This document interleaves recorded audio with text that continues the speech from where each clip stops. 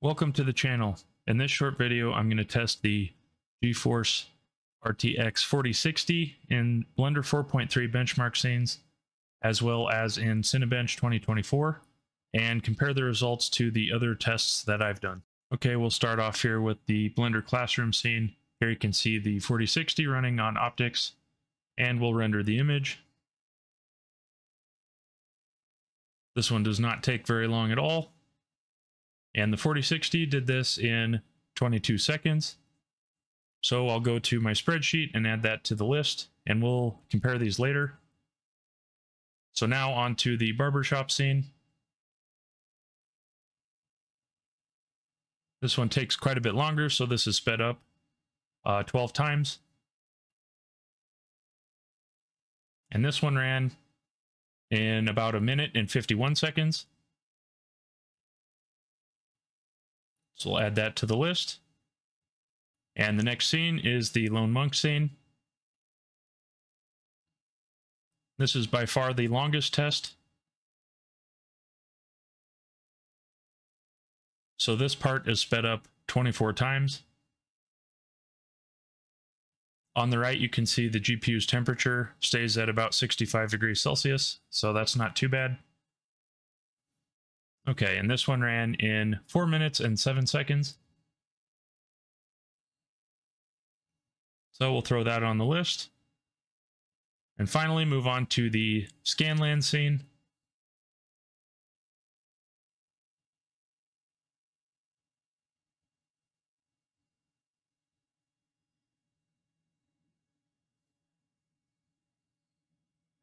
And this one's running at 8 times speed.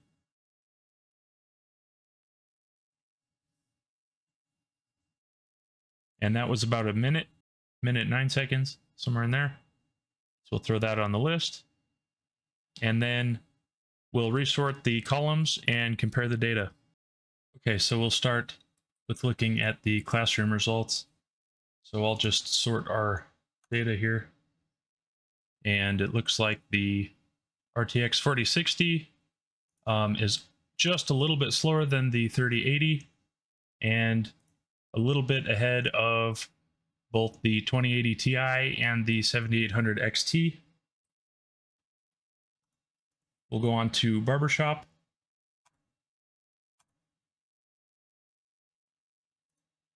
So the 4060 is in a somewhat similar position. It's just a little bit faster than the 7800 XT and a little bit slower than the 4060 Ti, which makes sense here although that gap is smaller than I would expect.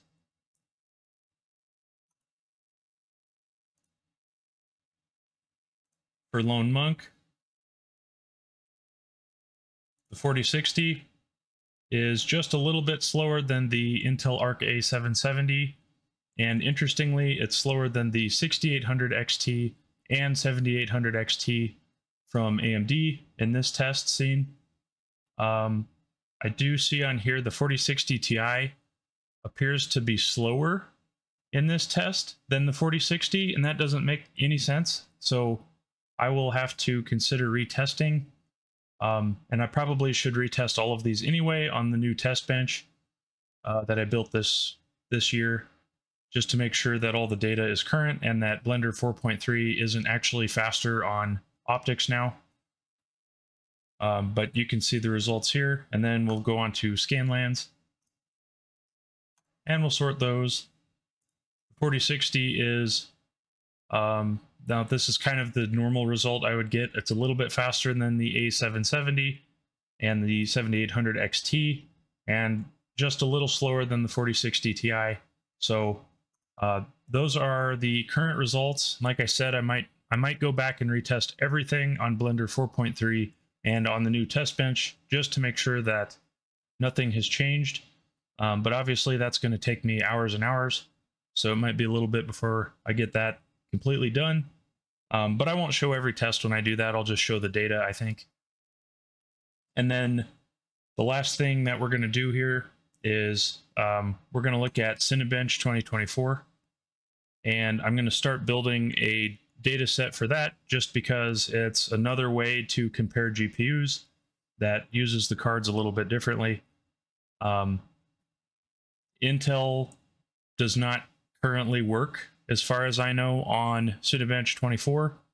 So if the support for that is available, I will start doing those too. But for now, it'll just be AMD and NVIDIA. So um, we'll watch the test result for the 4060 on Cinebench 24 next and kind of get that data set going. Okay, so here I have Cinebench 2024 open. And I'm just going to run through this really fast. This is actually at 60 times speed. Um, this one runs for 10 full minutes to get its result, so it takes a while to sit and watch it.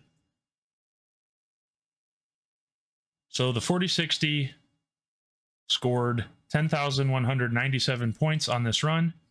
So I'll add that score here. 10,197 points for the RTX 4060.